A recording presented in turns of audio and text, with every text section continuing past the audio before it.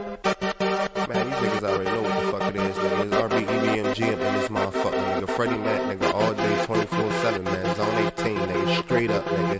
You already know what the fuck it is, bitch. Yeah. I got the ball fucker all official. I'm on the block all day, my niggas official. You talking tough, but really you soft as tissue.